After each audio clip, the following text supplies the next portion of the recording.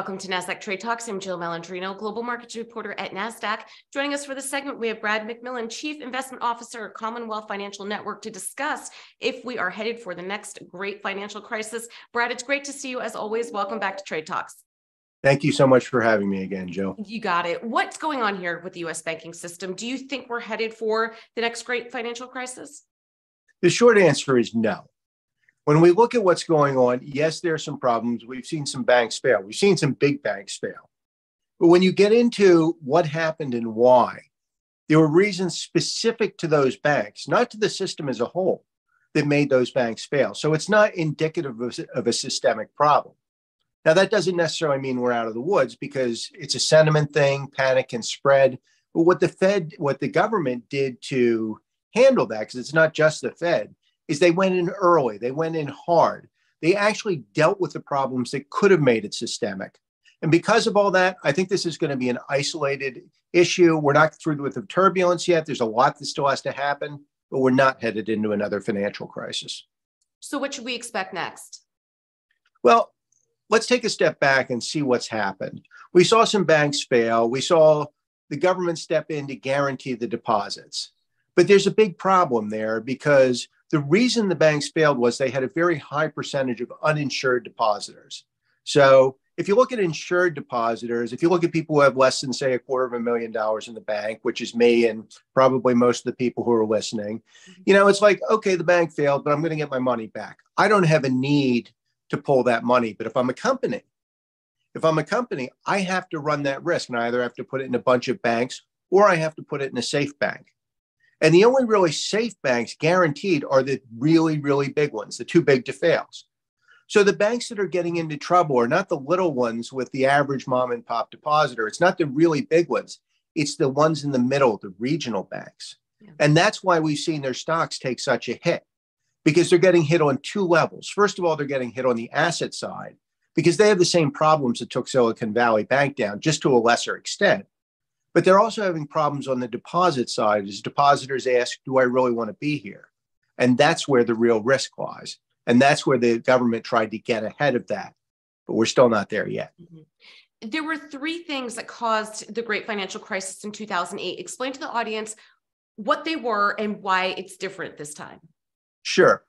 The first is when you look at a bank, there's two sides to it. There's the deposits, which we can just look at, and then there's the assets. And the assets right now are by and large tradable public securities. They're government bonds, for example. We know what go- we know what the government bonds are worth. We know they can be sold. There's an active market. A lot of them are agency mortgage securities. Same thing. We know what the value is. We know they can be sold. In other words, there's clarity about what the banks own. And that was a big problem in the financial crisis because with all of the weird mortgage backed securities and the no ninja loans, no income, no job, no assets backing them up. Nobody really knew what their counterparty, if they were solvent or not. Now we know what the assets are. So there's a lot more clarity. So we're not going to see the kind of breakdown in the financial system we did then because you can actually do a reasonable risk assessment of your counterparty. So that's one thing. We've got more clarity. The other thing is we've got more capital. The foundation of the banking system is much more solid.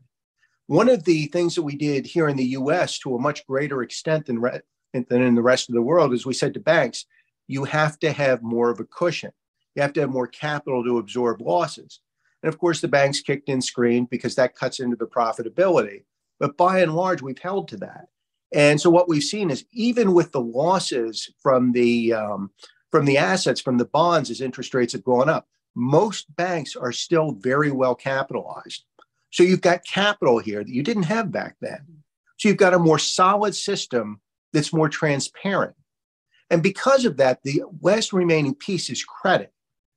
Banks couldn't get credit when they ran into trouble and for whatever reason they were illiquid, not insolvent, but illiquid. They couldn't access cash. And what we have here is the government has made a very specific decision to make that credit available, to lend against those assets at par not against what the market value is, but what the face value is. Now, that's not going to solve the problem. The banks still have to fill in the hole in their asset base, but now they've got time to do it. They can actually work it out. So there's no need for them to fail. So when you look at the three things that killed us in 2008 clarity, capital, and credit we've actually got all of those addressed, and we're in a much better place than we were. So if we look more near term, do you expect to see some more turbulence? I do expect more turbulence for a couple of reasons. First of all, it's going to take time for all of this to play out. Mm-hmm. I mentioned the regional banks, you know, depositors are figuring out where they want to be. That's going to take some time. The regional banks have to figure out a way to make themselves more appealing to those depositors. They have to figure out a way to recast their business models. More broadly, all banks have the same kind of asset backed problems because of the erosion of higher interest rates.